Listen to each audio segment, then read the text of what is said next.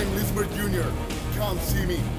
April 19th, Houston. Right here at the Fountainplex. Don't tell me you shut up.